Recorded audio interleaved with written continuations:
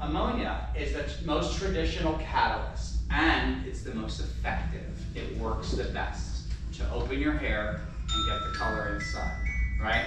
But when the ammonia-free talking point came on the market, manufacturers said, what can we replace the ammonia with so that we can sell more hair color and call it organic? So they started using something called MEA. MEA is not as strong as ammonia. Mm. So ammonia works great. Five-star worker. MEA is only half as strong. So you need about 10 times more MEA than you would ammonia. So if you're using a color that's ammonia-free, it's actually got the same alkalizing quality because I'm using 10 times of this to get to the strength of this. So these are what we call alkalizing agents. When someone talks about ammonia and ammonia-free, I totally remove the word ammonia from my vocabulary and I call it an alkalizing agent or a catalyst mm-hmm. because mm -hmm. it's designed to raise the pH levels to create that. Which you have to do. Exactly. Okay. Which you have to do in a, in a hair color situation, right? Now, when you're using something like Shades EQ or Rusk Demi or Alfaparf Color Wear, you're using an MEA-based hair, used to be MEA, now it's arginine. Um, you're using an MEA-based hair color already. That's, MEA is not strong enough to lift your cuticle and get into the cortex. It opens the cuticle in a demi situation. You're not using 10 times the amount. It only takes 10 times the amount of MEA to make a color, permanent color environment. In a demi-permanent color environment, this is very gentle because all it's doing is popping the cuticle and shoving and, and forcing the molecules to explode in between the gaps in the cuticle. That's why Shades EQ washes out in a week and a half because all the molecules are exploded in the in the cuticle layer. They're not in the cortex because all we did was slightly open the door. We didn't bust the door open completely. So in a demi situation, it has a little bit of MEA. In a permanent situation, ammonia-free hair color has a lot of MEA. Well, we decided how can we manipulate the science to make a better alternative to this? Why does it have to be one or the other? Why can't we use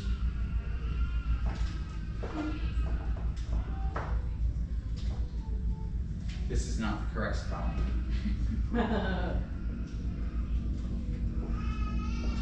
Why can't we use both of them? Maybe that just now.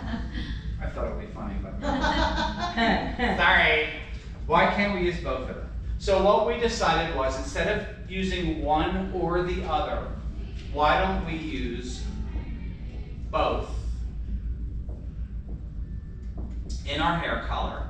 Because if we have a little bit of this and a little bit of that, we can get the same alkaline environment in a permanent color situation by having half the ammonia and half MEA to create the same alkaline environment that you would get from a lot of MEA or a lot of ammonia, right? So in our permanent hair color, you have two catalysts. One is a gas and one is a chemical.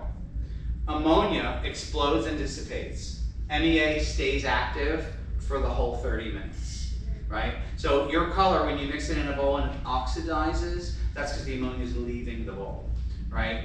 MEA never oxidizes. It oxidizes, but it stays active until you wash it out. If I left ammonia-based hair color on your hair after 30 minutes, it's not going to go much further. MEA will continue to fill in positive, fill in positive. That's why Shades EQ, you only leave it on five minutes because you're flash toning. If you leave it on 15 minutes, you're getting a lot of deposit because it's continuing to be active, right? So we use ammonia and MEA in our hair color. For that reason, you can use it as a multifunctional tool because ammonia will only activate at 10 volume or higher.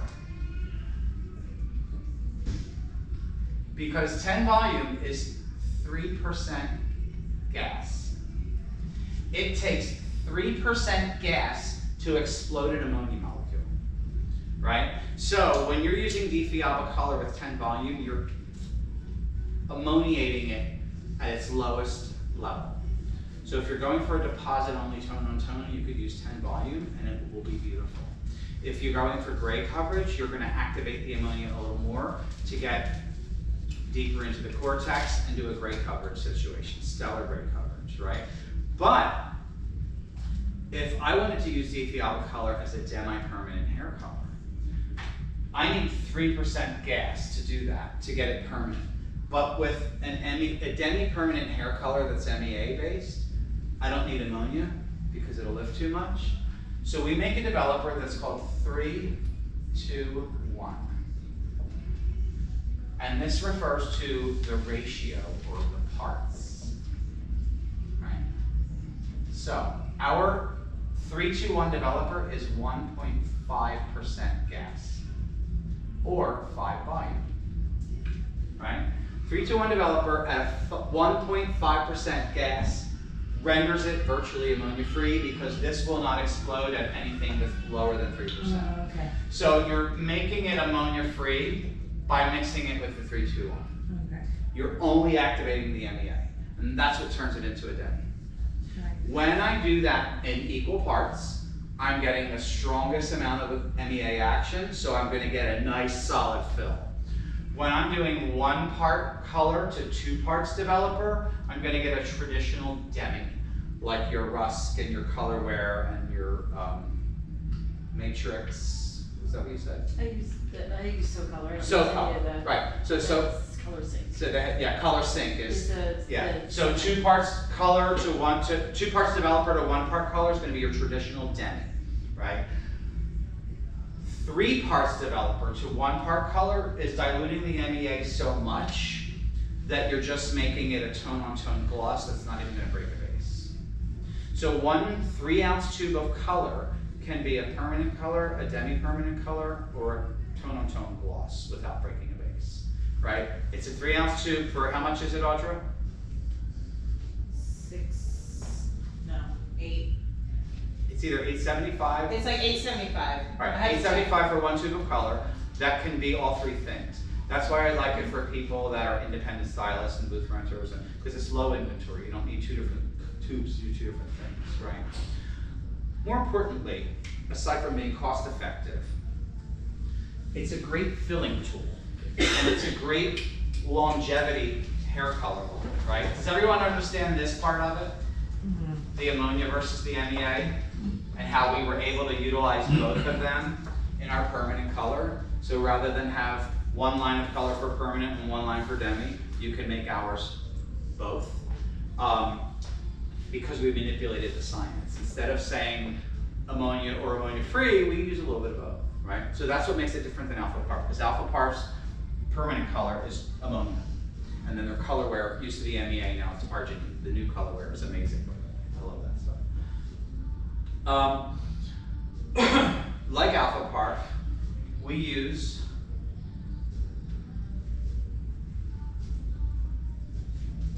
what we call ultra fine pigments. They call them micropigments. We call them ultra fine.